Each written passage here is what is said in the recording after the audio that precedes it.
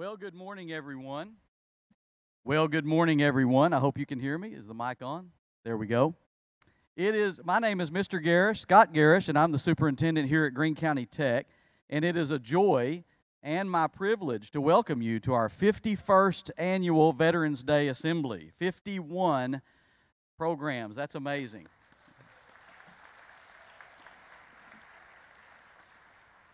The faculty, staff, and students here at GCT and myself want to thank all our servicemen, their guests, and community members who have joined us today for this very special celebration. I would like to ask everyone to please stand at this time for the invocation.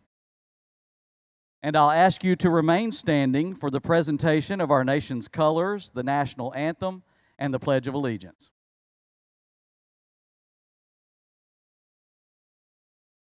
Please join me in prayer. Dear Lord, thank you for this day to remember our veterans.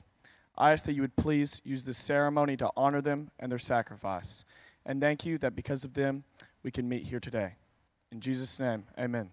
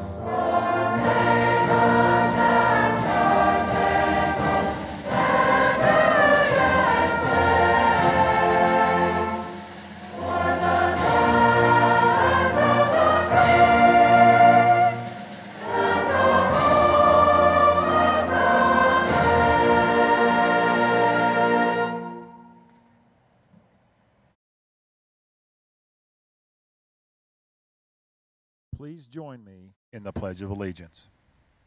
I pledge allegiance to the flag of the United States of America and to the republic for which it stands, one nation under God, indivisible, with liberty and justice for all.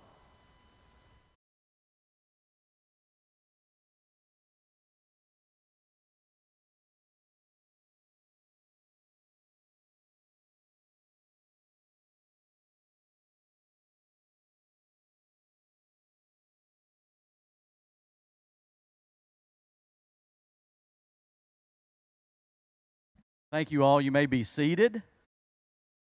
And again, welcome. And ladies and gentlemen, in tribute to the men and women who have served in each of the branches of our armed forces, the Greene County Tech Band and Choir will perform the song related to that branch of service as JROTC will present the flag for each branch. We ask that veterans stand for their branch of service as the song is played and the flag that represents their branch of service is displayed.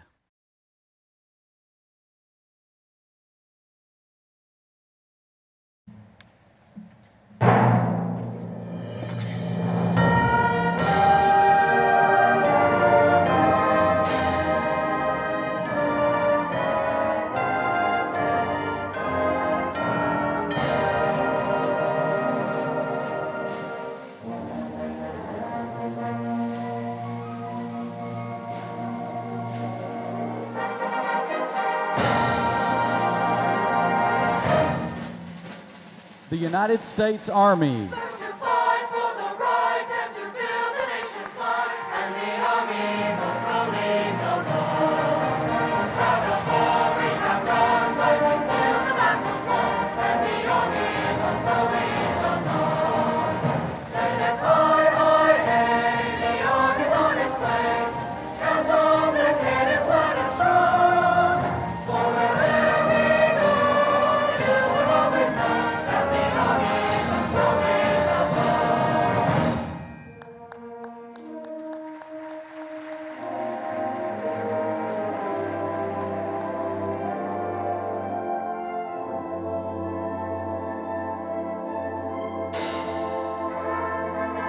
The United States Coast Guard,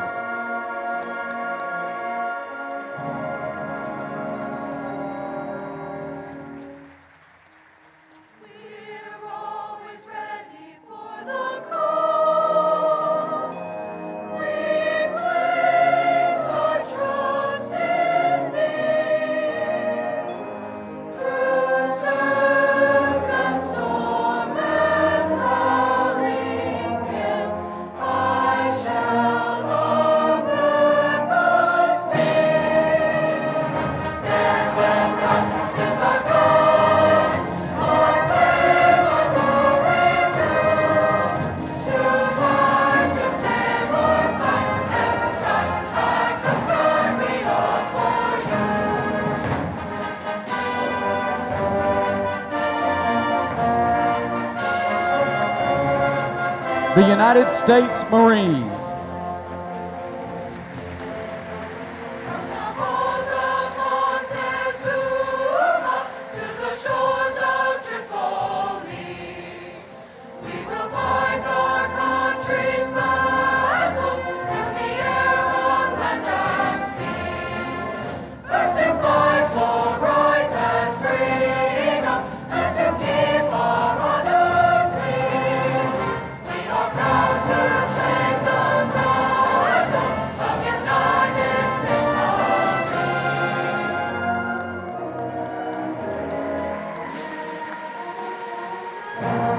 United States Air Force,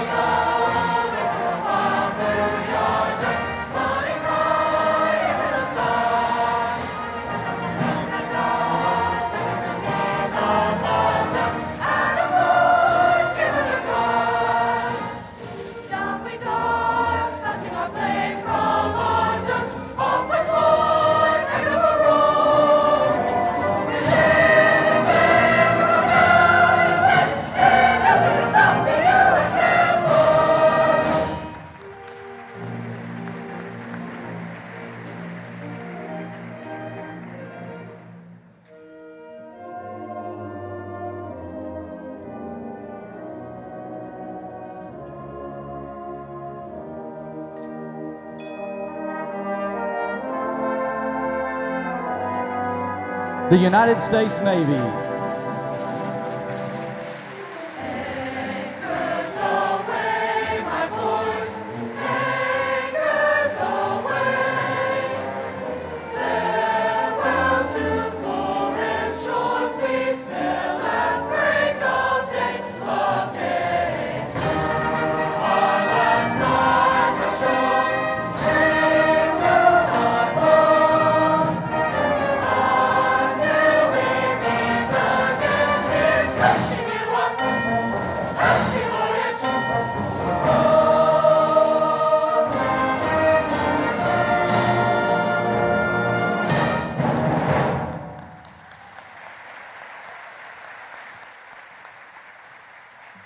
Thank you again to everyone who was able to stand today and through the many years that I have been around this program at Tech. That's my favorite part of the program. I thoroughly enjoy that. And thank you all who participated in that portion. At this time, we would like to recognize those veterans that have served their country during times of war. Would those of you who served during World War II please stand? And for all of those who have been able to stand in the past, let's please give them a round of applause.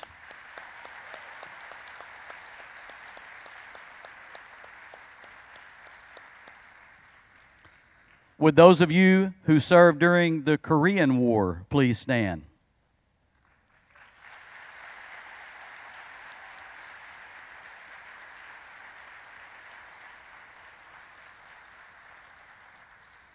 Thank you. Would those of you who served during the Vietnam War please stand?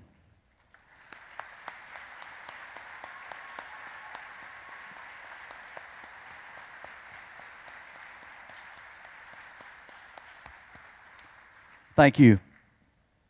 Would those of you who served during the Cold War era please stand?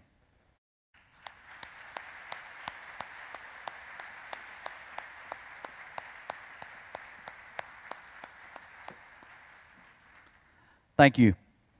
Would those of you who served during the Persian Gulf War please stand?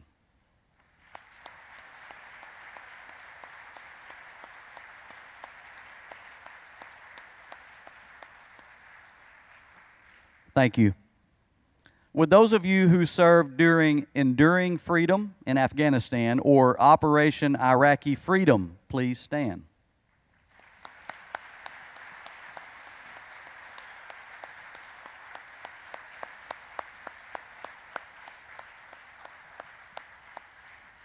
Thank you all for your service. Let's give all of those people one more big round of applause. Thank you again.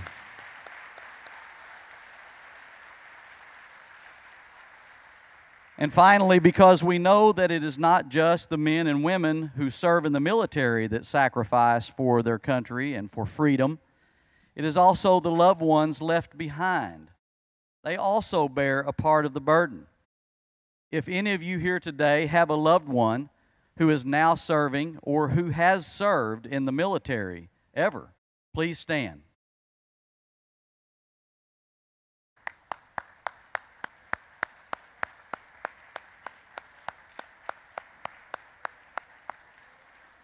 Thank you all very much.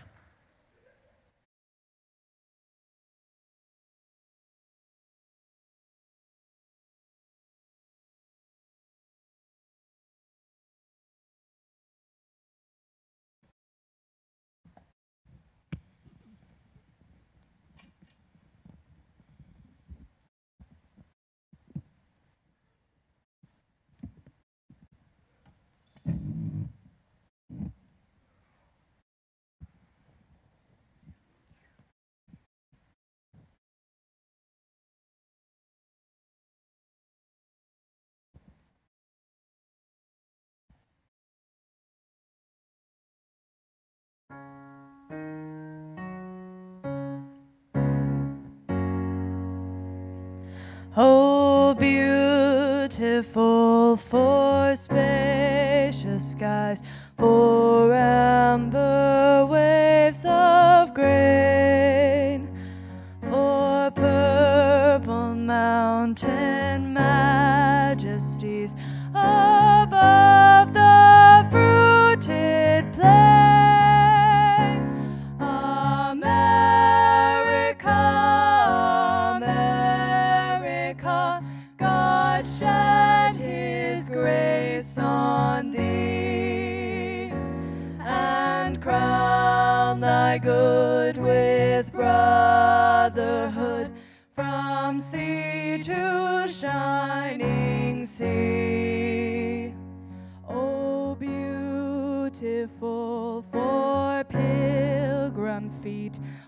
where stern impassioned stress.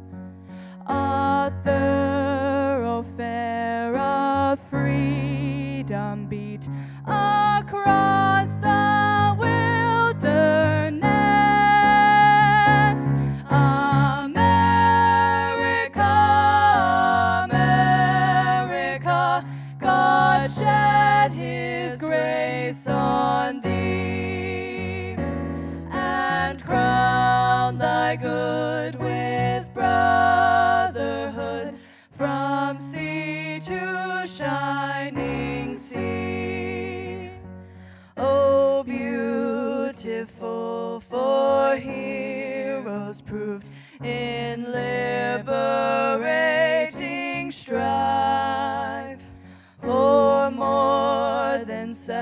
their country love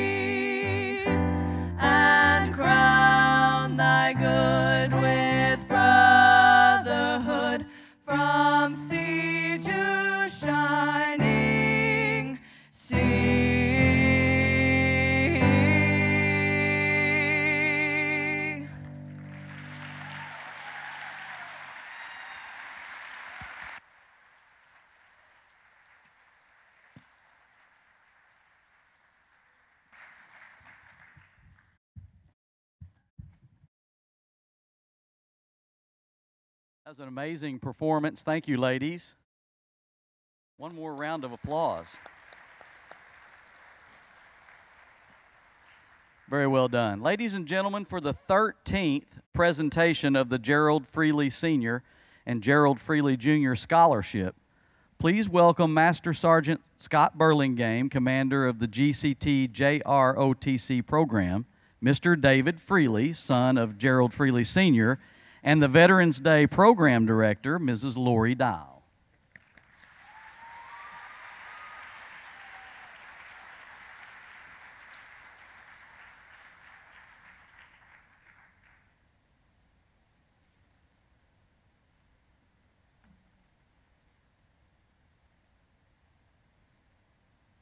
Wow. Has it really been 51 years, Miss Sullivan? It surely doesn't seem like it. It's always great to come home um, to enjoy this special time celebrating veterans and the service that they give. In each generation, a few have stepped forward. In each generation, a few have forged ahead into the unknown. In each generation, a few have put aside the easy life and accepted the hard work of protecting freedom, of holding high the light of liberty and freedom. Their sweat, their blood, their courage are sewn in the very fabric of the flag. When you honor it, you honor them and their sacrifice for us. They have given us a gift, the gift of freedom and yet they have asked for no payment in return. And we could give none that would suffice. So one day was set aside for veterans, November the 11th. However, today is November the 10th. And if you're a Marine, please stand up. Happy birthday, 247. My brothers. Now, thank you. Now, some veterans they have a visible sign of their service missing limb, a scar. Some don't. Some carry them deep within. But what is a veteran? How would you know by walking down the street?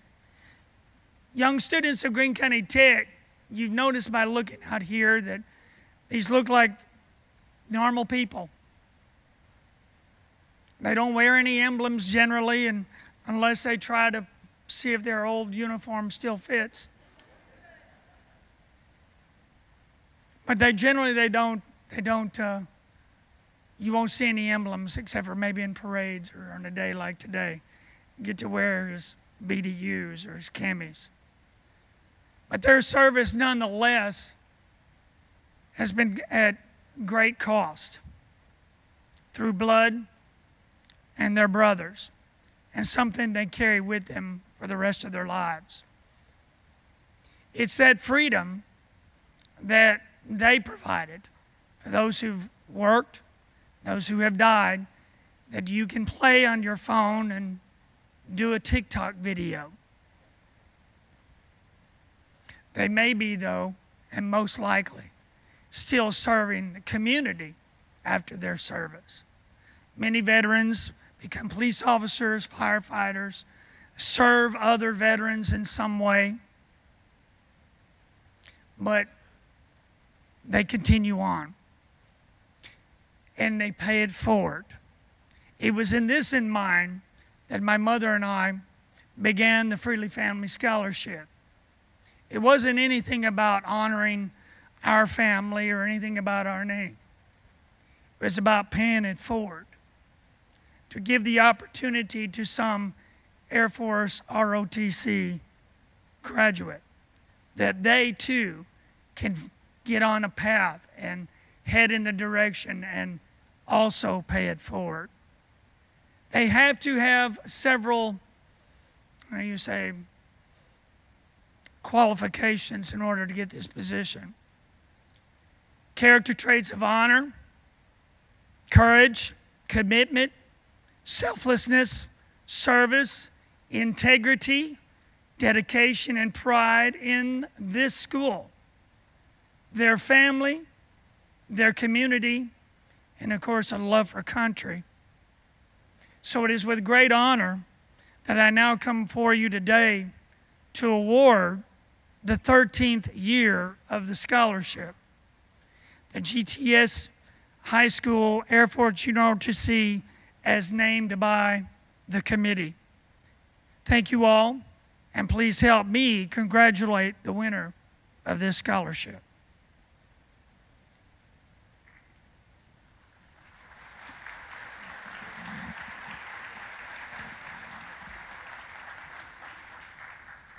It is my great honor to announce to you this year's winner of the Gerald R. Freely Junior and Senior Scholarship, Miss Macy Dawn Noel.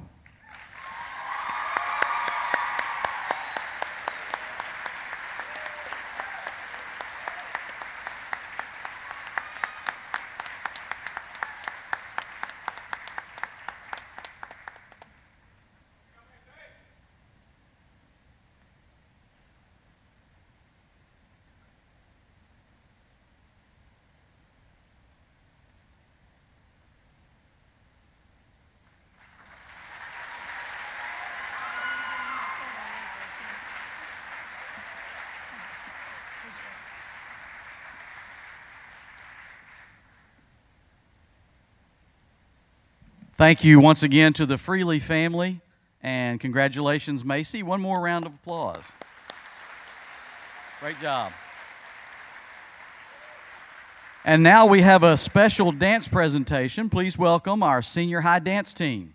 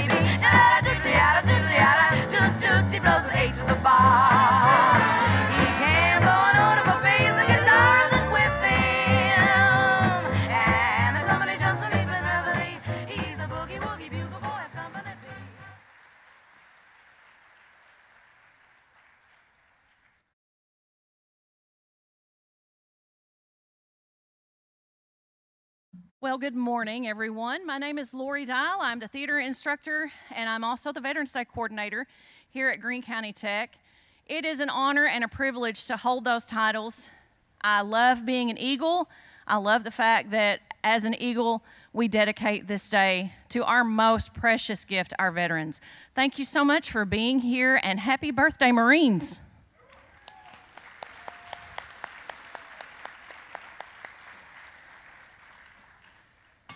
Each year, the English department hosts a patriotism writing contest to coincide with Veterans Day.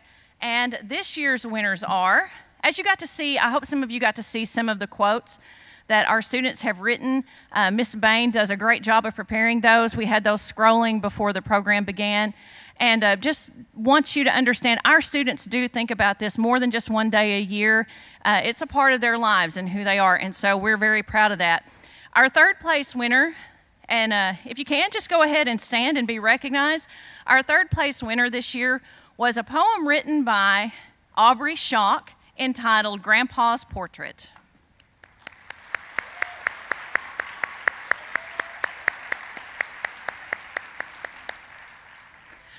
Our second place winner this year is a personal narrative essay written by Caitlin Hall.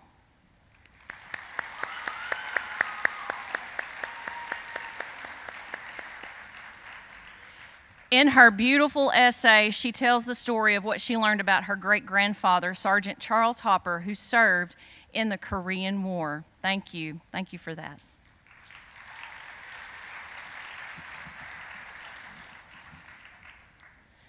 Our first place winner is a short story written by a senior, Miss Chloe Juno.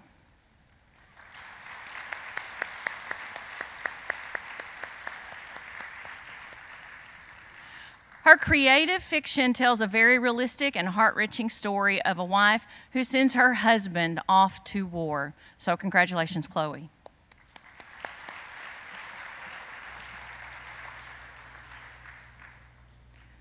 The English department would like to commend all the participants in this year's contest. I think we had over 80 entries this year, so that's spectacular.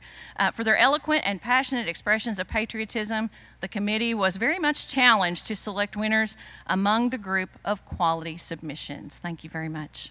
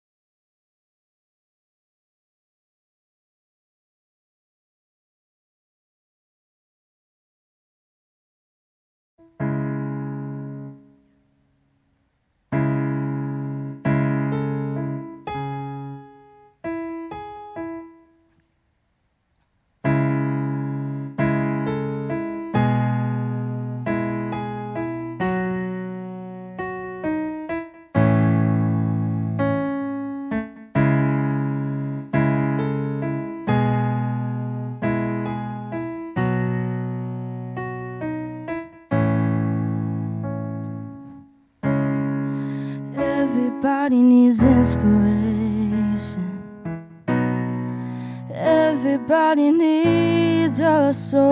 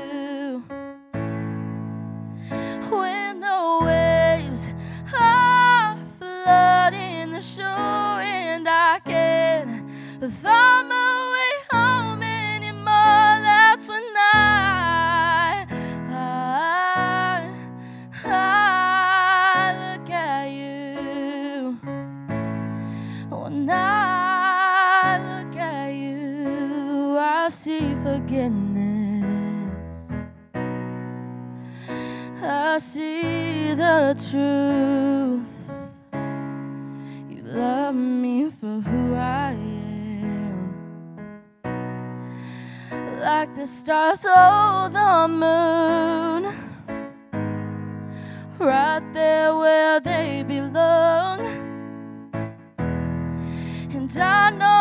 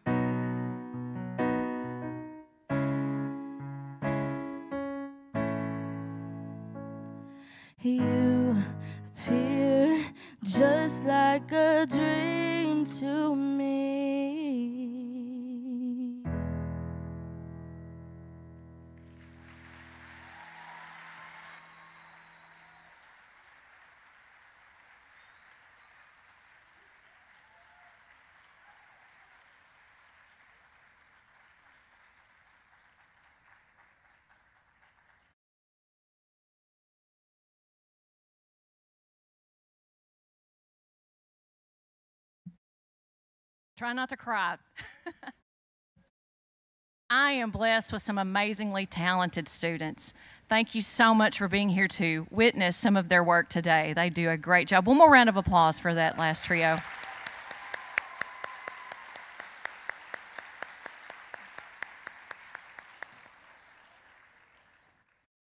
It is an honor and a pleasure for me today to introduce to you our keynote guest speaker, um, celebrated author, and just a wonderful human being. I've gotten to uh, pass and repass with him at different Veterans Affairs. So today we're going to introduce to you Mr. Nicholas Bertucci. He is a long, has a long family tradition of military members in his family. His father served in Vietnam in the Navy, grandfather served in World War II in the Navy, and great grandfather served in World War I in the Army. Nicholas joined the Navy in 2007 with a desire to continue his family's tradition and care for others. He signed up to be a Fleet Marine Force corpsman and operate alongside and care for the United States Marines. Upon completion of his basic training, he was assigned to the 1st Marine Division Light Armored Reconnaissance Battalion at Camp Pendleton. From there, he deployed with his unit to two different conflicts.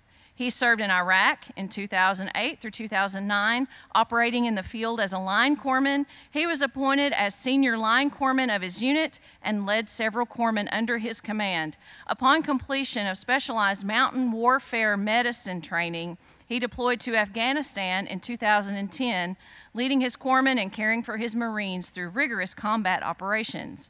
Nicholas has completed three college degrees two of which while on active duty and one shortly after separating.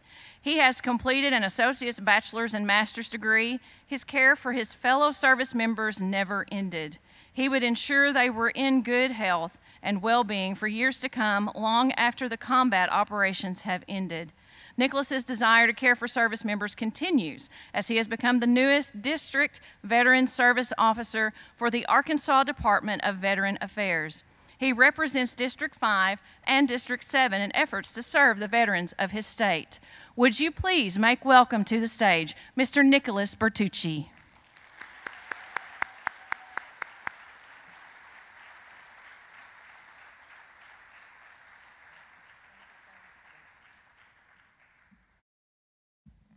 Thank you so much. Ladies and gentlemen, good morning.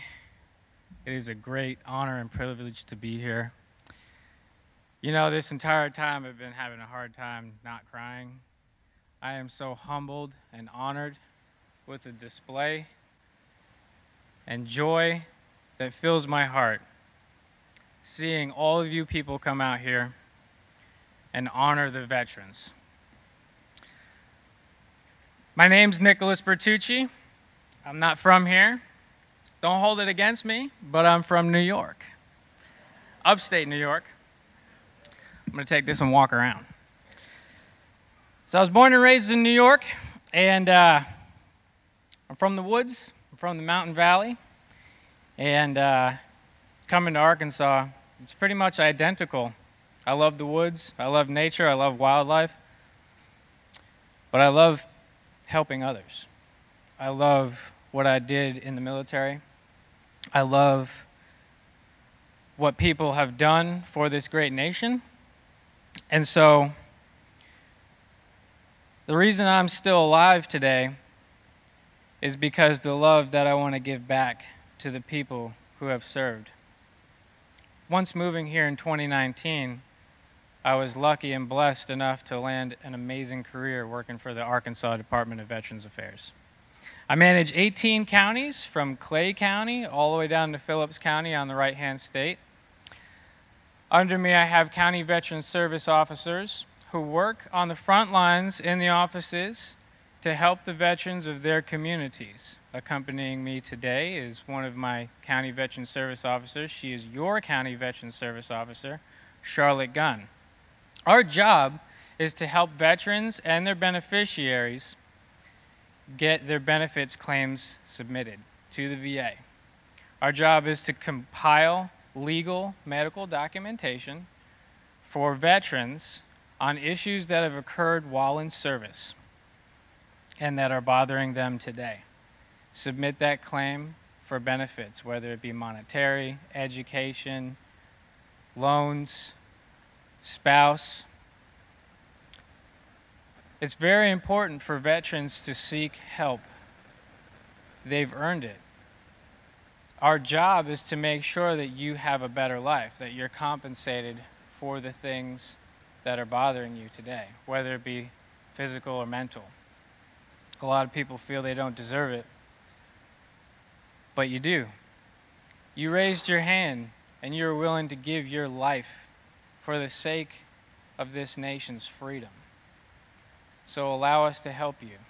Allow us to help you cope. Allow us to help you file this grueling paperwork. It's very confusing. I really, really enjoy what I do. You know that feeling that you get when you have goosebumps running through your entire body and you feel like you're about to cry when you hear an amazing song or the national anthem or these wonderful these wonderful kids making these beautiful displays for us to honor us.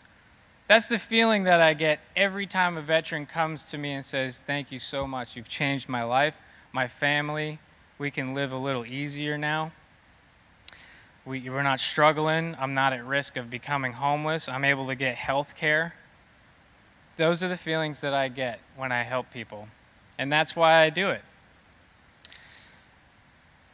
Among doing that job, I wear other hats. Um, so, you guys know my background. Served in the Navy and uh, also served in the Marine Corps.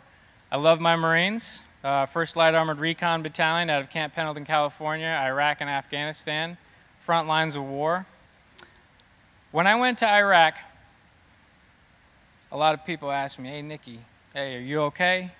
What happened over there? What did you see? What can we do to help you or make things more comfortable? And you know, I, I just, I didn't want to talk about it. I'm fine. I'm good. Everything's okay, you know.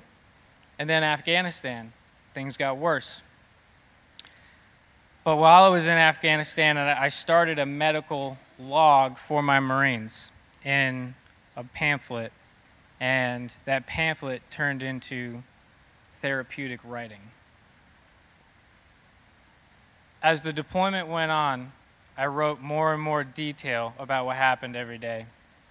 And it turned into four front to back page thick pamphlets that when I came home, of course, hey, Nikki, are you okay? What happened over there? So I'd hand over these books.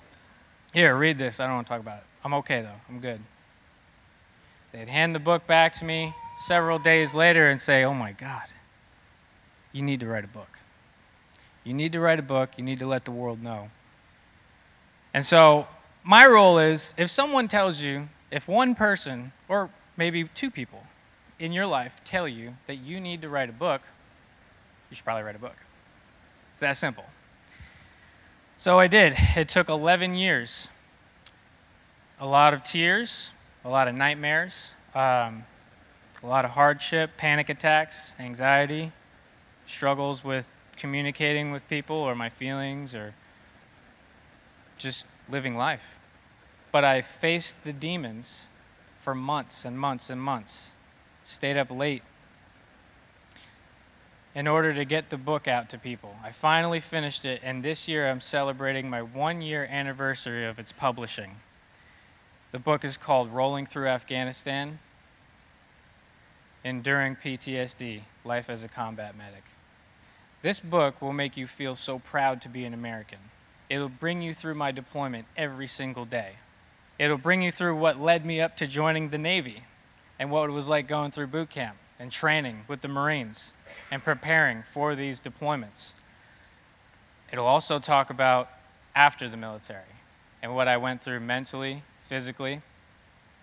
It'll make you laugh because working with the Marines, you know, they're quite the characters. It'll make you sad, it'll scare you, it'll make you feel so proud to be an American, to know that we have the capability of protecting our freedom, that we have the greatest firepower in the world. Most importantly, the book will encourage you to do great things, not only for yourself, but for your loved ones, those who have been in the military. If you've been in the military, it may bring up some hard memories, but it'll also encourage you to continue with life and be the best person that you can be. The message of that book tells about how I was at rock bottom and I was I almost seen the end. But something happened to me and it encouraged me to stay alive and help other people. And I encourage you if you know someone or have been in the military or want to better understand how to help people that come back from war who endure PTSD or any other types of pains from the military, read this book. It will help you understand how to help them. It'll help you understand what they're going through. And the proceeds go towards helping veterans and their families. After this event today, I will be outside in the main lobby and I'll be at a table. I brought 40 copies. I know there's more than 40 people in here, so don't bum rush me all at once. I'll be more than happy to sign the book for you and get to know you on a personal level and give you my information in case you ever need anything at all. Another hat that I've worn that I still wear is I like to stay busy. I like to exercise my demons, is what they say, keep them at bay. I started my own business. I enjoy the great outdoors. I have a master's degree in environmental policy, fisheries, and wildlife management. I enjoy giving people solitude, peace, serenity. So I have property in Williford. It's about an hour west of here. And I took that property and I decided to exercise my creativity. And I've created a paradise for people to come enjoy hunting, fishing, swimming at the lake, relaxing at the beach, shooting at the gun range. They want to go after some razorbacks, they can go after some razorbacks, deer, turkey, ATV riding, hiking, kayaking, or just peace and quiet away from everyone, surrounded by a thousand acres of forest and no noise of the hustle and bustle. The place is called Bertucci's Country Cabin, and our slogan is Paradise in the Woods. And I'll be sure to exchange that information with you too if you ever like to come out or if you know a veteran that you'd like to honor and give them a trip of a lifetime. We'll take great care of them. That soon became the Ozark Gateway and tourism of Arkansas, one of the most sought out destinations in Northeast Arkansas. And I have people come from nationwide that just want to relax and get away. I'm going to leave you with this. For all the young folks here, the key to success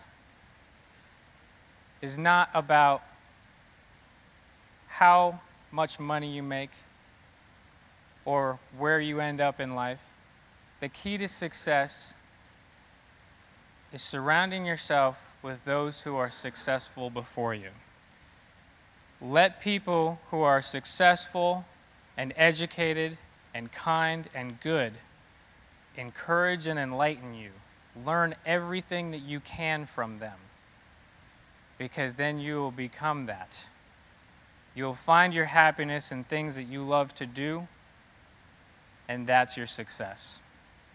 For those who have served, thank you so much for your service. Thank you so much for the sacrifice. Thank your families for putting up with all the things that you've endured while serving in the military and thereafter. Please, if you need help, if you need assistance of any kind, if you need to fight the VA on something, if you have questions about something, seek a veteran service officer. We exist to help you.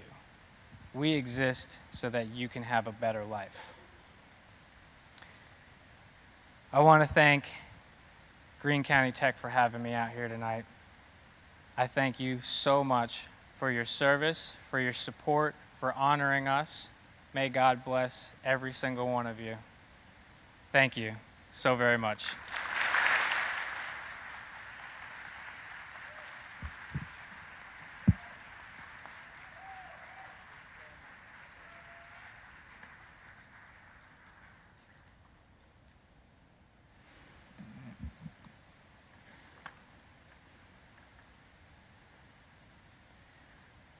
It's an honor for me to get to introduce these guys. I have another one here for you, a very special guest of ours. I would like to tell you a little bit about him. Mr. Joe Bateman is a 2005 alum of Greene County Tech and a nine and a half year veteran of the Arkansas Army National Guard. During that time, he saw two combat deployments, one in Iraq and one in Afghanistan. In addition to his service to our great nation, he is also a local favorite and talented performer with a great personality and a style all his own. Father of Carter, Carson, and Cash Bateman, all GCT students, his green and gold roots run deeply. Please make welcome to the stage, doing an original song, Mr. Joe Bateman.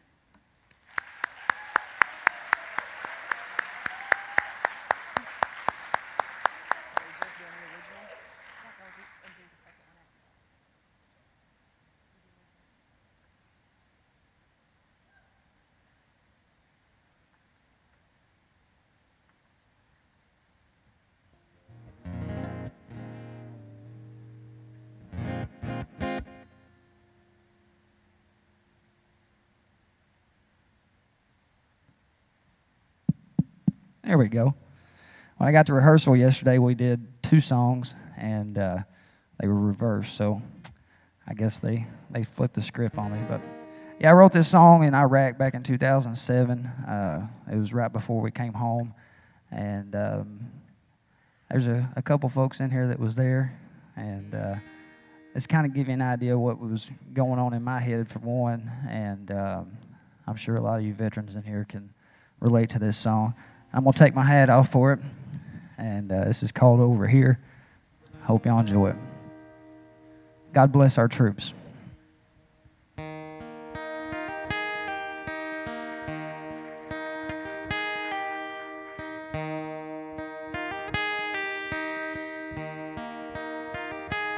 There's so many things that I've been through that you could never understand.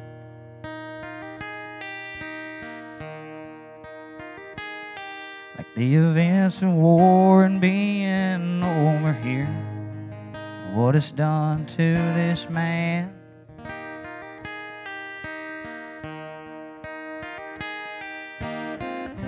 I've been away too long, but now I'm coming home. And to be totally honest, I'm scared. Cause over here you can't just act like nothing's wrong. We put faith in buddies like we put faith in God. We're coming home to loved ones that can never see the sacrifices and things that we've been through. Fighting for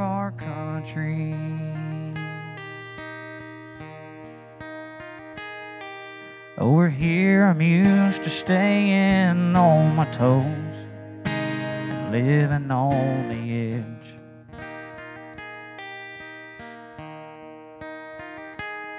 I gotta fight and try to stay alive. At times with no rest.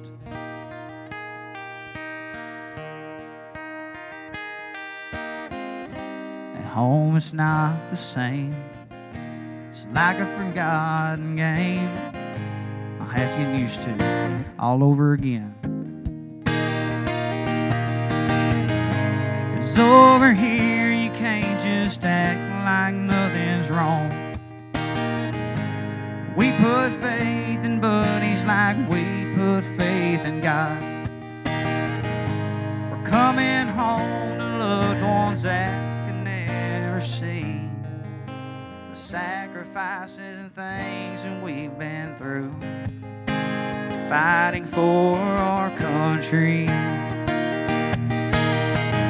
Let's not forget the ones we fight and die to keep free.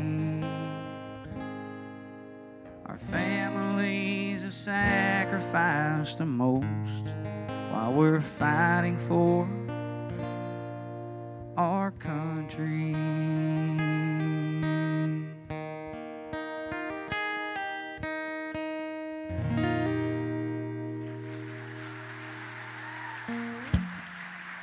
Thank you very much.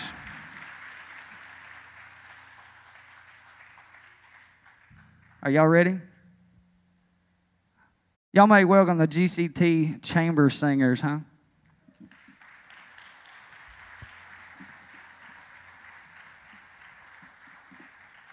They're coming in from both sides.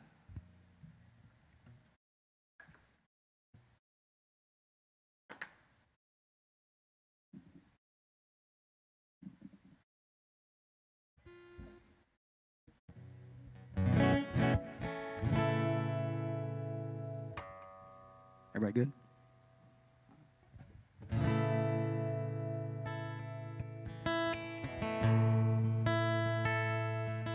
Just trying to be a father, raising daughter and a son, be a lover to their mother, everything to everyone. Up and at on bright and early, I'm all business in my suit. I'm dressed up for success, from my head down to my boots. I don't do it for the money. There's bills that I can't pay. I don't do it for the glory. I just do it anyway. Providing for our future, my responsibility. I'm real good under pressure being all that I can be. I can't call in sick on Mondays when the weekend's been too strong. Just work straight through the holidays, sometimes all night long. You can bet that I stand ready when the wolf growls at the door. I'm solid, I'm steady, I'm true down to the core. And I will always do my duty, no matter what the price. I've counted up the cost. I know the sacrifice. Oh, and I don't want to die for you, but if dying's asking me, I'll bear that cross with honor. Cause freedom don't come free. I'm an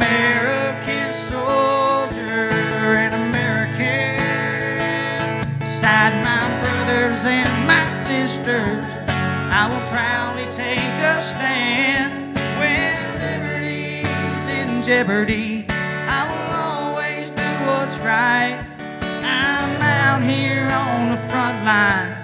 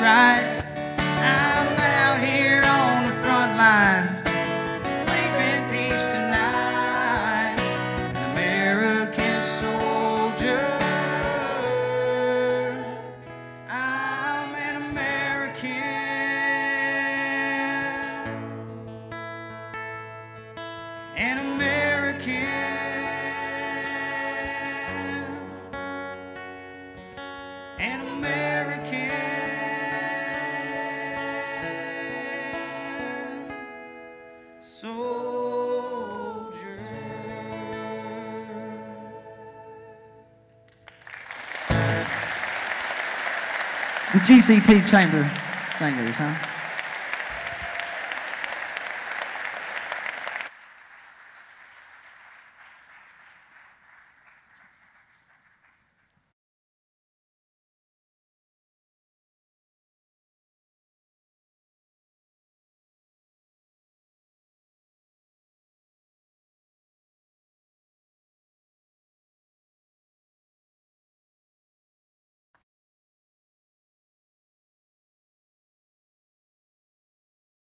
What a spectacular performance. If you enjoyed that, give another big clap round of applause.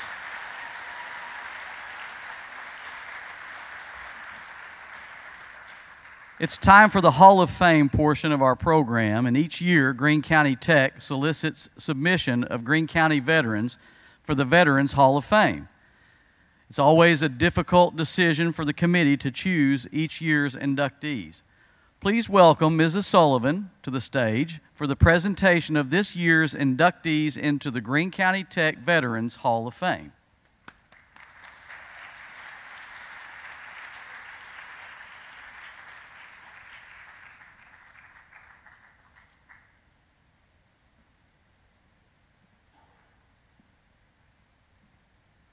Good morning, everyone.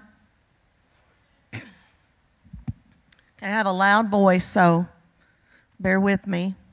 Um, as my students will know, um, I have been connected in some shape, form, or fashion with uh, our military for many, many years. My dad was in the Navy during World War II. Um, I had three uncles who served in the Army during World War II. One uh, received the Purple Heart and was missing in action for a while after the invasion of Normandy. Uh, had a brother who was in the Air Force, so I feel such deep respect and reverence for our veterans and for their families, past and present. It's just so much of a privilege to be able to honor them. And I am so proud of our school. I'm proud to be a graduate. I'm, I'm proud to be an employee. I'm glad that my children graduated from here because of the work that Greene County Tech High School does in honoring our veterans. Long before any other school did so, we were there trying to show our gratitude and our love for our veterans, those who came home and those who didn't. I have been one of those students who um, was able to read their essay at Veterans Day back in the 19. Um, and I have been a teacher here for 41 years. And I have always done the Hall of Fame. And hopefully, I will be able to continue to do that because our veterans mean everything, everything to us. Because we wouldn't be here without those veterans. We wouldn't be standing here. I don't know about TikTok or Snapchat or any of those other things because I can barely get on Facebook. So I don't know about that. I do know that we wouldn't be able to make the choices that, to live our lives the way that we do. And we choose to honor our veterans, and I do please urge you if you have a neighbor, a friend, um, a relative, whoever, please consider nominating them because even if you nominate, we still keep their names and we still we want and we still consider them and we want to honor as many as we can. We want to see them get the respect that they so richly deserved. So today, I stand before you ready to announce. See, this is technology, and this is too much for me. All right. ready to announce um, our inductees this year. Our first inductee served in the United States Army for 18 months during the Vietnam War. He was awarded several medals for his service, such as the Vietnam Service Medal with three Bronze Stars, the Bronze Star with a V device and two oak clusters, the Army Commendation Medal with two oak leaf clusters, a Sharpshooter Medal, the Combat Gallantry Badge with palm, and the Silver Star. And there were other, many others as well. He was a light weapons infantryman during the war, and, and that is the Vietnam War. He achieved the rank of sergeant. And from my conversation with our veteran, he was wounded in battle, but due to the circumstances of the war at the time, um, he never received the Purple Heart that he deserved. And I want to acknowledge that today for him. Um, I would like to read from his awards for his Bronze Star as well as his Silver Star. The first is for his first oak, leaf cluster. Um, and it says, Specialist 4, United States Army, who through his unswerving effort and professional ability obtained outstanding results despite the adverse conditions um, incident to a combat environment. During the period December 1st, 1968 to February 1st, 1969. With a sense of urgency to complete the mission, he set an example that inspired his associates to strive for maximum performance. His outstanding, his outstanding actions materially contributed to the efforts of the United States in its counterinsurgency role in the Republic of Vietnam. His praiseworthy achievement and dedicated initiative were in keeping with the highest traditions of his military service and reflect great credit upon himself, the 9th Infantry Division, and the United States Army. And for his Silver Star, for gallantry in action involving close combat with an armed hostile force in the Republic of Vietnam. He distinguished himself by exceptionally valorous actions on the 22nd of May 1969 while serving as a squad leader with Company C, 4th Battalion, 39th Infantry, 9th Infantry Division on a blocking force mission in, okay, Giao Duc District. I know I messed that up. All right, Sergeant, Mar- uh, Sergeant, almost. Um, platoon was concealed in a good blocking position when they suddenly heard noises in the, in the heavy underbrush ahead. He climbed to the highest area available to observe the movement to the front, and almost immediately the firefight broke out. Disregarding his own safety, he remained in his exposed position, directing the fire of his men. Though a much safer position was always available, he remained in place until the enemy was defeated. His extraordinary heroism in close combat is in keeping with the highest traditions of the military service and reflects great credit upon himself, the 9th Infantry Division, and the United States Army. After the war, our inductee became a human resource director. His hobby is playing golf. And after our program, you might ask him what his handicap is. Um, he has five children and 12 children. His wife is Candace. He was nominated by Christy Ramirez Sellinger, Carmen and Colby Stokes, and Ava Lincoln. Let us welcome to the stage Mr. Simon Ramirez.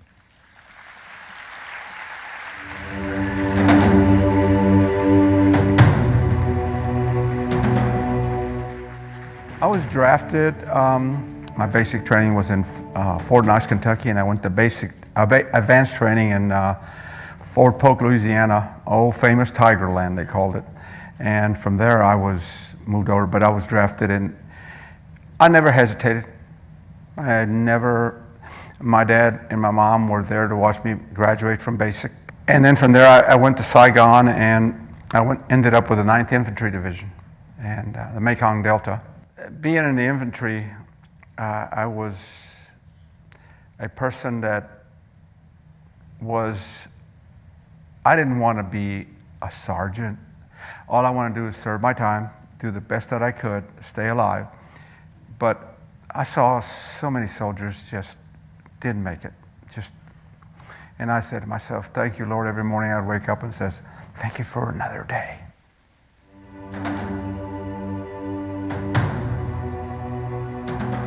I fortunate enough to stay alive to receive three Bronze Stars. It's kind of, it's kind of ironic that with that, one of the Bronze Stars, we were on ambush and we ambushed a sampan. It was, uh, they travel through the rivers, they carry mortars, they carry, I mean, and I, we ambushed the sampan. We put up claymore, we, it detonated it right by it. We did not know that the sampan was full of munition. So when it went boom, and then it went kabloom, rerouted the river. That's how big of an explosion it was. We were covered with mud and, and stuff, and um, had a piece of metal in my arm. Didn't even know I had it because all we heard was just high pitched noise. But uh, I looked back and I said, you know, somebody upstairs was watching over me for that to happen. So I was just so glad to get back home. The proudest one, and I never thought about it, is when I, received the Silver Star.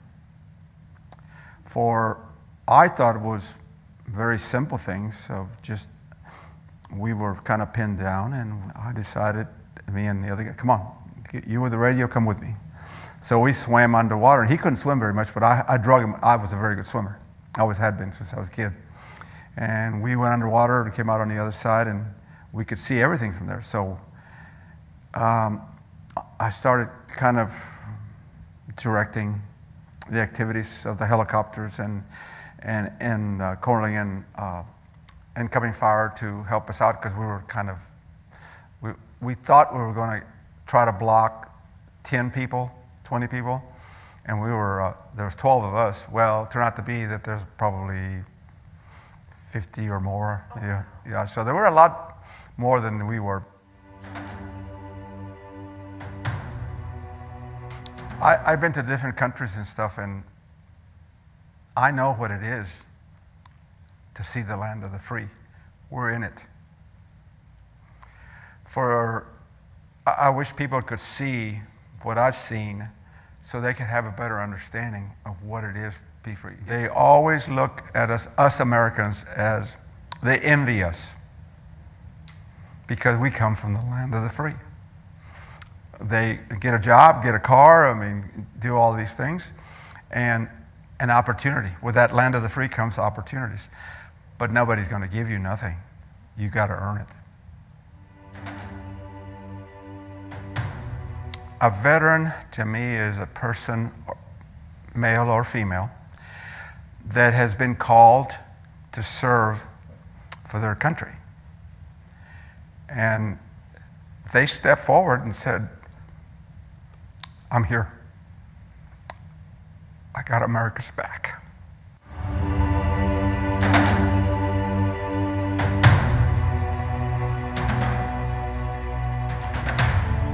Ladies and gentlemen,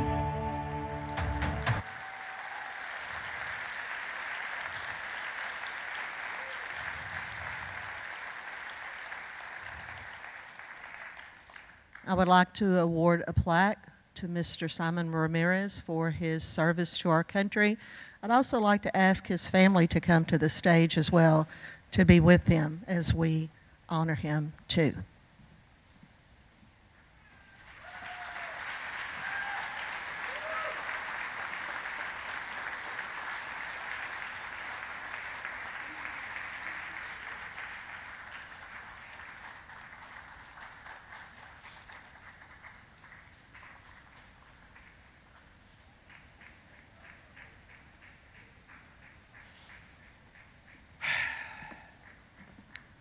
This is hard. Behind me. I, uh, it's hard to look at that up there. I know a lot of you veterans out there, like me, that I would talk to other veterans, but I never would tell them I was a veteran. For years and years, I've done that. But I realized because of my family, they need to know what us veterans went through. Excuse me. I just want to thank uh, County Tech for what they do and thank those veterans out there that are serving or have served that thank you so much. Those medals up there, I would trade them all in to get my brothers back. ハハハハ。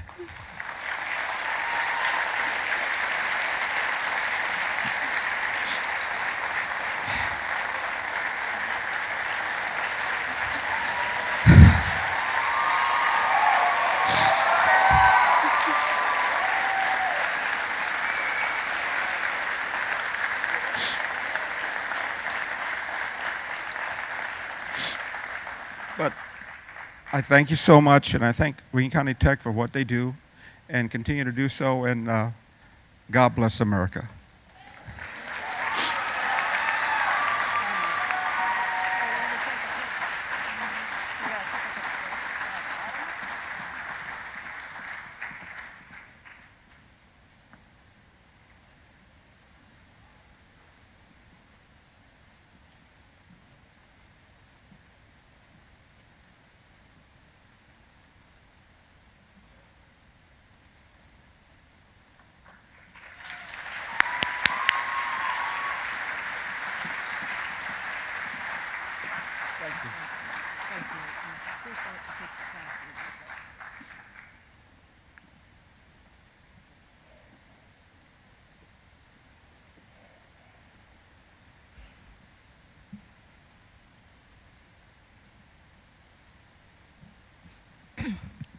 And I did want to mention one thing that I was negligent in saying before, but I really want to say thank you to Lori Dial, Beverly Finley, Pam Andrews, who, whose students and she worked on this video. They do such a good, good, wonderful job in honoring our vets, and I just want to say a special thank you from my heart to them.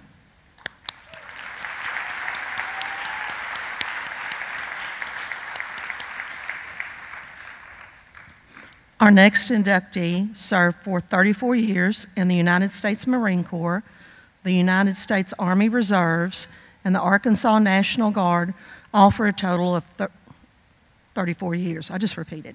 All right, he served in Vietnam from 1965 to 1966 and was awarded the Purple Heart, the National Defense Service Medal, the Vietnam Service Medal, the Armed Forces Reserve Medal, and the Army Reserve Achievement Medal, and many, many others. He reached the rank of Command Sergeant Major, and he served in such positions as an infantry squad leader, a first sergeant in ammunition supply, and a nuclear, biological, chemical command sergeant major. After the war, he worked in the U.S. Postal Service. Um, he is a past president of the VFW and vice president of the Veterans Support Association, a member of the American Legion and the Masonic Lodge. And his hobbies include watching baseball, especially the St. Louis Cardinals, and watching old westerns. Okay? His story is in the November Premier Magazine. I urge you to pick up a copy and read his entire story. But there are a few things that I would like to quote from, quote from that story. Um, our inductee said, I didn't even have a clue where Vietnam was. We stopped in the Philippines before. Uh, we got there and we didn't know what we were getting. Um, they wouldn't tell us anything. One of the first things that he heard was Hanoi Hannah. Who, who came across the airwaves. Um, she was known for propaganda broadcasts during the Vietnam War, and she would read such things as the names of Americans who were recently killed or imprisoned, and she was trying to incite intimidation, fear, and encourage Americans to desert their, po- their post. So he hears that um, as he is going over to Vietnam, and she said, one thing that stuck with him was that if you'll look to your left, the man next to you won't be going home with you. And he, she told them where they were going, um, and his battalion commander said he didn't know how she knew the things she said, but yes, there was a great likelihood that the person next to you wouldn't come home. He served in Operation Double Eagle, 29 days in the field, wearing battle fatigues, which were thin, lightweight, and we walked constantly through water, and they literally just rotted off. Um, he said, I remember thinking it was a beautiful country if people hadn't been trying to kill me. Um, and he said, from day one, we hardly ever went without getting fired on. Uh, when I got the Purple Heart, it was because mortar fire got me in the knee. Uh, it was Operation Texas, and we were taking heavy fire, and one of our helicopters came in, and almost almost all the heavy stuff on it, and in it got shot down with the machine guns in it on it. Um, we set up a perimeter, and we came battling out, but all our support was on that helicopter. So we had a lot of men, a lot of people that we lost that day. One guy never saw his baby. I remember half brothers that were with us. One died running, or I'm sorry, one died manning the machine gun, and then his half brother took over and he was killed on that same machine gun. After Operation Texas, there were only 12 of us left, although we'd started out with around 20. Makes you think a lot, makes you pray a lot. There's no doubt about finding God out in those fields. After um, our inductee came home, um, he has a form of cancer that uh, is very likely related to Agent Orange, which was used in the war to defoliate the jungle. Um, and he has dedicated time to trying to help fellow veterans and to try to be there for them and to counsel them. He said, Death, you try to prepare for it, but in war, you just do what you've got to do. I've always been a patriot. I love my country. I still love my country.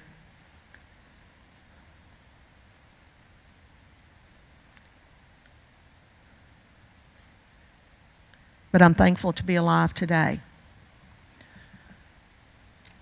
He's married. His wife is named Mary.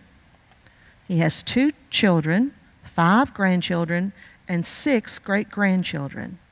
And he was nominated by Tina Foster, but he is not feeling well today, and his son will accept the award for him. I would like to announce our next inductee, Don Foster, and his son David will be accepting the award for him.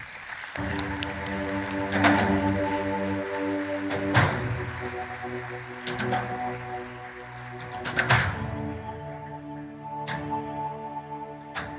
went in and I joined 1963. Um, went to uh, Vietnam 1965, came back 66, thank goodness. When they first told us, you know, our, our little group said, you know, you're going to Vietnam, I didn't have a clue where Vietnam was. You know, I'd never looked it up on. online, so this is Vietnam right here. Didn't have a clue. Uh, as a matter of fact, when we got to Vietnam, off the, we went over, you know, on ship, went to Okinawa, trained up, and then went to Vietnam. Hanoi Hannah welcomed us to Vietnam. Our unit, we didn't, we didn't know, like I said, we didn't know where we was going, but she told us that we was in the in the coastal area of Vietnam by by Lai. Uh, look around because most of us wouldn't be going home. Uh, told us what unit we was with, what our objective was for, for landing there. And when she went off the air, the ship's captain turned it over to our colonel who was in charge. He said everything she told us was true, except the part about us not going home. Uh, but he was wrong. She's was closer to being right.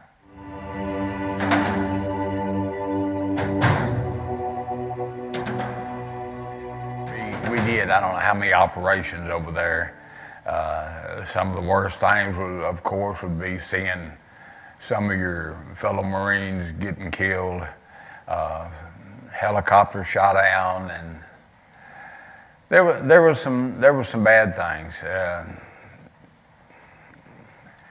now uh, you try to tell me if there were some good things. Oh, I probably was. You know.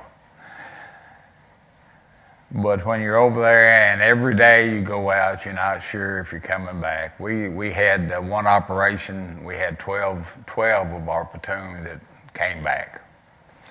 So, uh, you know, lost a lot of good friends, a lot of, a lot of good Marines passed away over there uh, because of what it was. A war, you know. There's no such thing as a good war.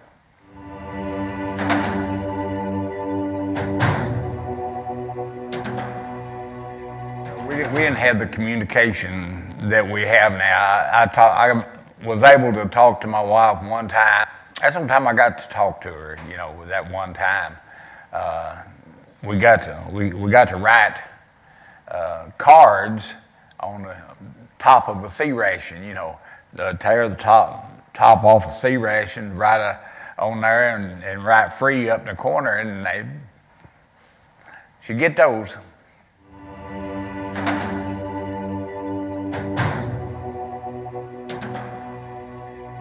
Probably, probably my highest medal is Purple Heart. We went out that day and came back and set in a perimeter that night, and then they hit us with mortars. And, uh, you know, you never knew when, when they was going to do it. So, got, a, got some shrapnel on my knee, got a little shrapnel here, and uh, thank goodness that was an old corpsman. He stuck one of them little wooden stobs with a uh, cotton ball on the end, some alcohol, put a band-aid on it. We kept on going.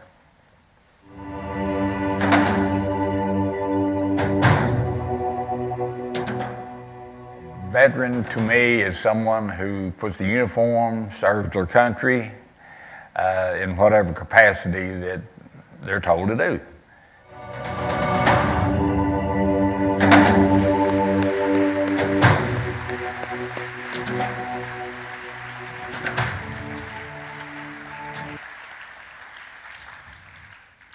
Ladies and gentlemen, we want to honor Mr. Don Foster today. We also would like to ask his daughter, his granddaughter, and grandson, please, to come to the stage to help accept this award. I'm just going to say. First of all, it is an honor to be accepting this on behalf of Dad. Excuse me. And uh, he wanted, uh, he would love to have been here, but unfortunately he wasn't feeling well. But he did want me to convey his thanks to Greene County Tech, uh, to all the fellow veterans out there. But thanks to Tech for what you do each and every year. Thank you.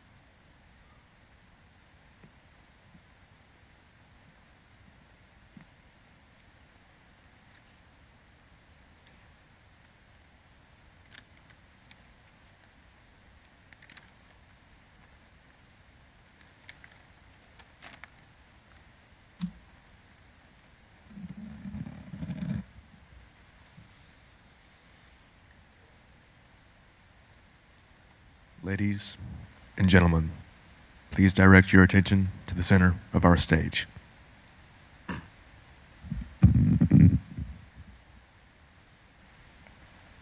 You may have noticed the table set before you. It is filled with symbolism. I will explain. This table is set for our prisoners of war and those missing in action from all wars. They're not with us today.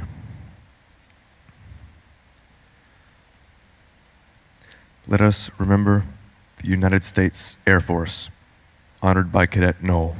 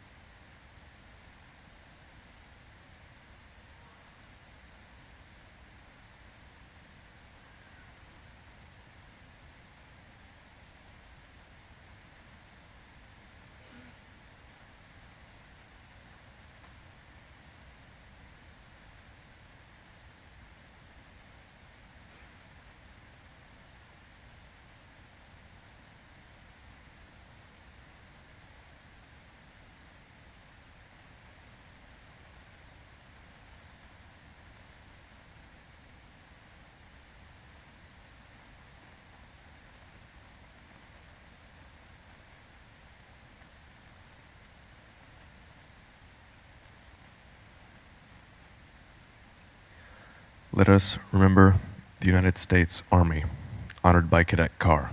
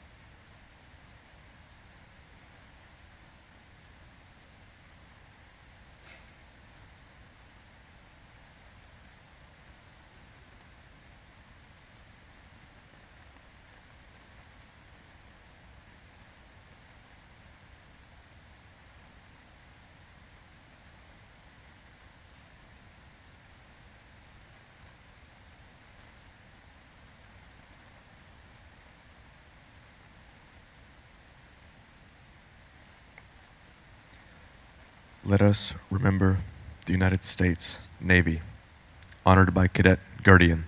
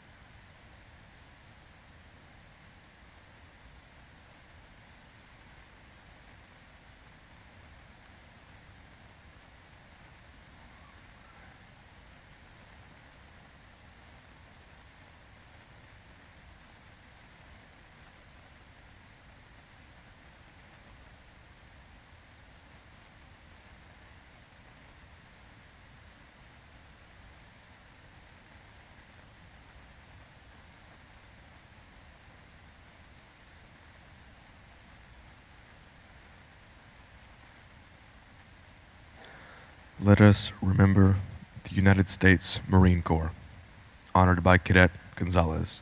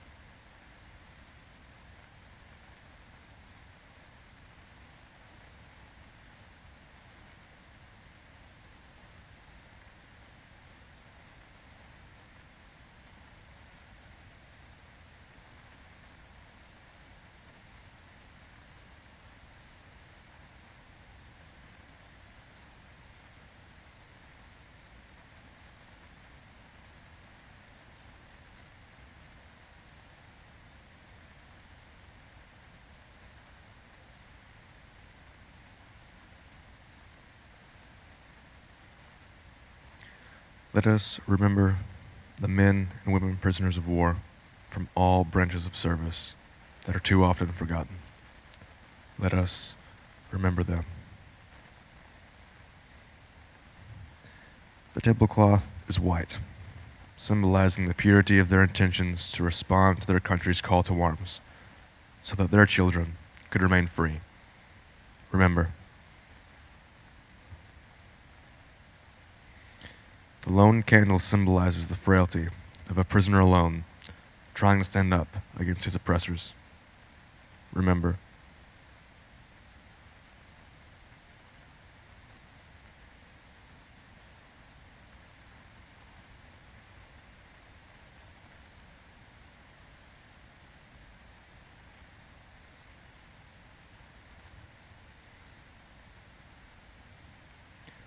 the black ribbon on the candle reminds us of those who will not be coming home. Remember.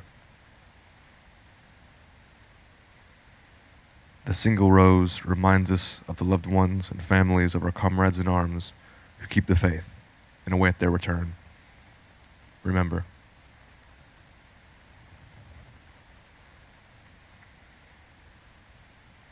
A slice of lemon is on the bread plate to remind us of their bitter fate if we do not bring them home. Remember, there is salt on the plate, symbolic of the family's tears as they wait and remember.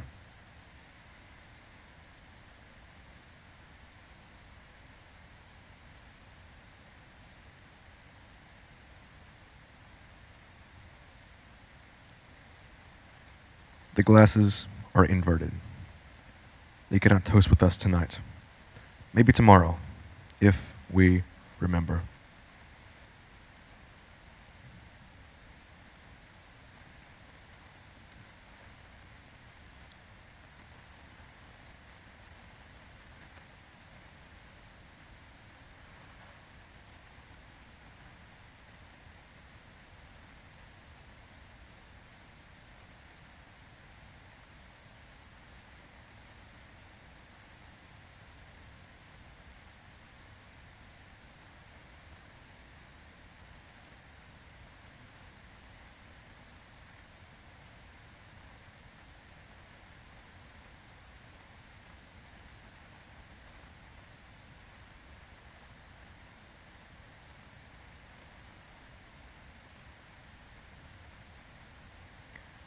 The red, white, and blue ribbon is tied to the flower vase by a yellow ribbon that was worn by thousands who awaited their return. Remember, the faded picture on the table is a reminder that they are missed very much and are remembered by their families. Remember. As we look upon this empty table, do not remember ghosts from the past. Remember our comrades. Remember those whom we depended on in battle. They depend on us to bring them home. Remember our friends. They are the ones we love, who love life and freedom as we do. They will remember what we do. Please honor and remember them.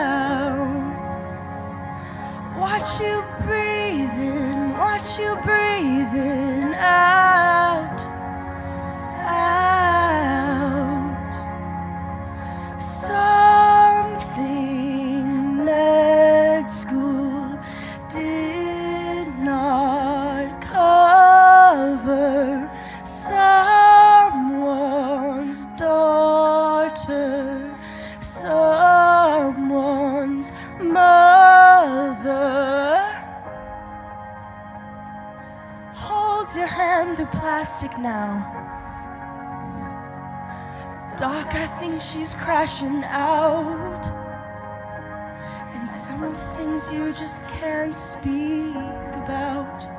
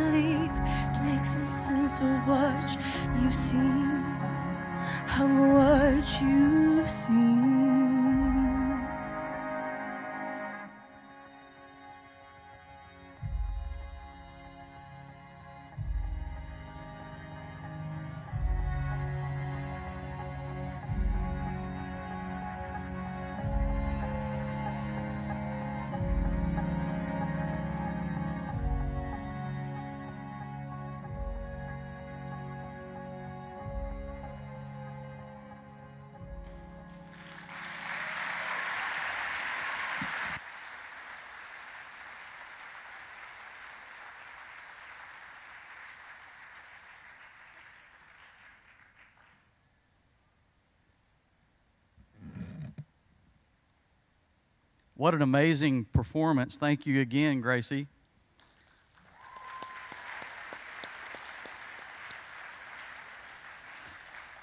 At this time, I would like to ask Mr. Bertucci to light our flame of freedom, which symbolizes the gift of sacrifice of every American soldier throughout history, including those currently serving at home and abroad.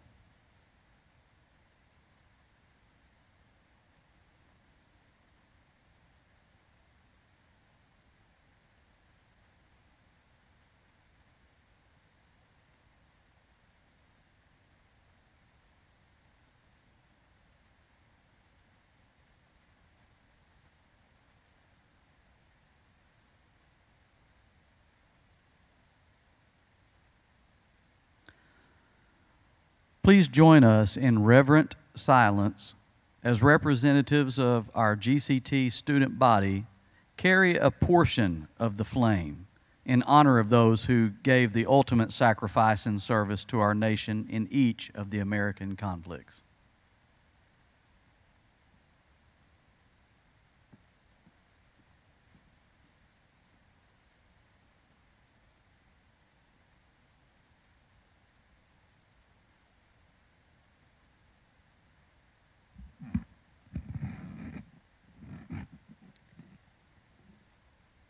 We carry the flame of freedom and honor the 250,000 who served and the 4,435 who died in the Revolutionary War for our freedom.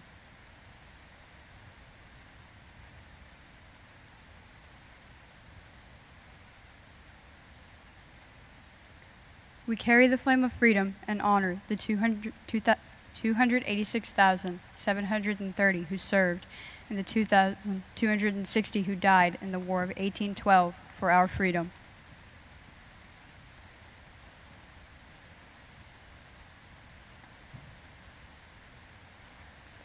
We carry the flame of freedom and honor the 78,789 who served and the 13,283 who died in the Mexican American War for our freedom.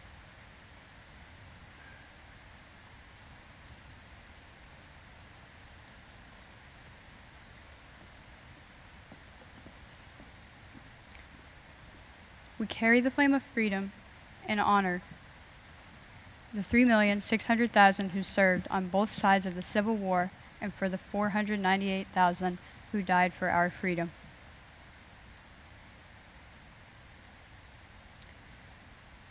We carry the flame of freedom and honor the 280,564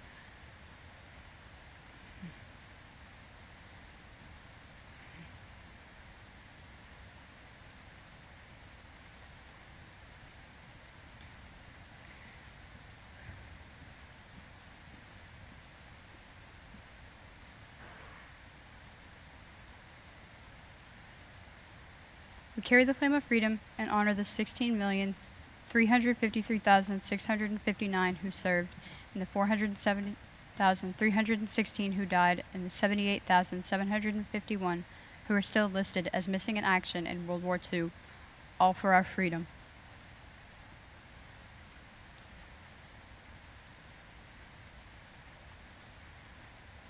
Carry the flame of freedom and honor the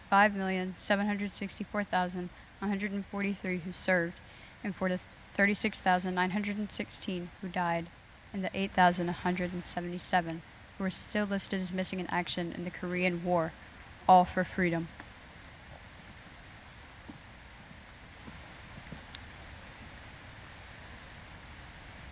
We carry the flame of freedom and honor the 8,752,000 who served, and the 58,193 who died, and the 2,413 still listed as missing in action in the Vietnam War, all for freedom.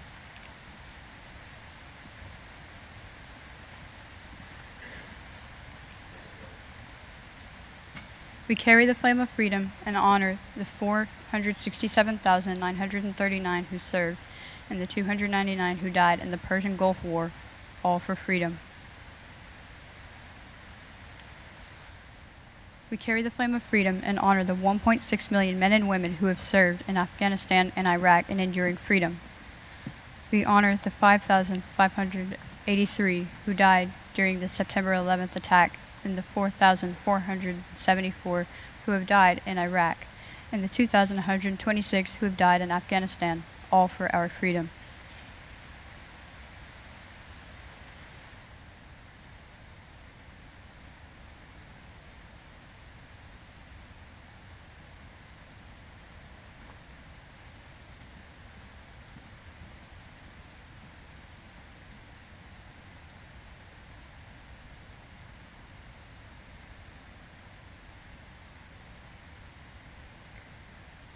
From the early formative years, our nation was bought with blood and paid for in lives lost and forever changed.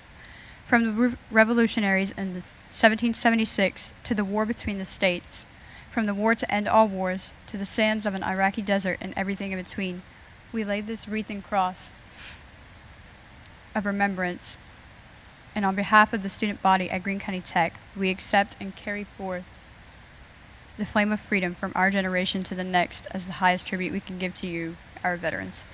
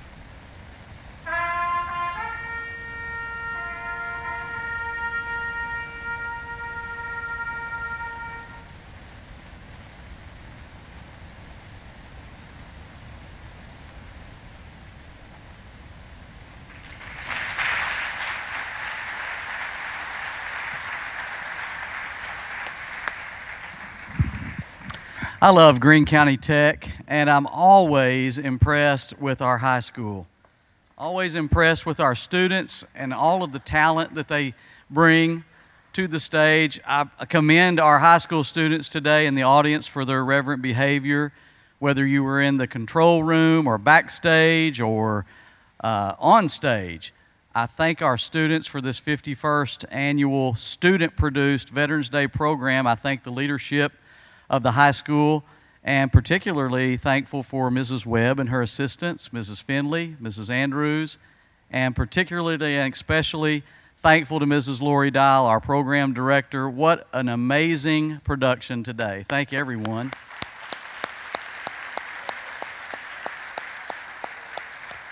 Thank you all for coming to our program today, and we want to invite all of our veterans and all of our guests to our auxiliary gym for lunch. We all have to eat lunch somewhere. Why not stay with us? We strongly encourage you to stay for lunch.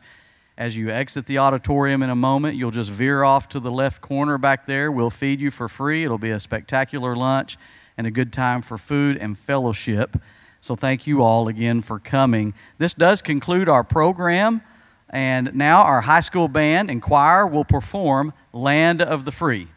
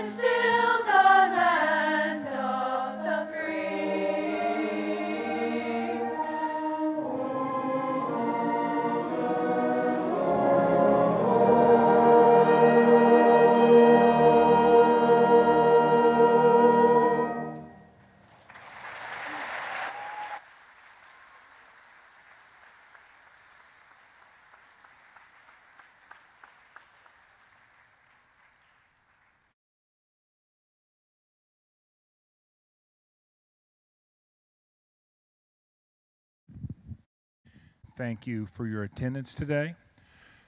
Guests, at this time, you may go ahead and enter into our grand hall to our practice gym for the lunch. And when Mr. Garris said it is fantastic, it is fantastic. Please stay and have a meal. Students, I need you to stay here for me. JROTC students, as soon as our guests are out of the arena, I need you to go to, excuse me, out of, out of the auditorium. I need you to go to the arena for your group photo. You will sit in the home bleachers, the home side of the bleachers in the nice chairbacks for your photo.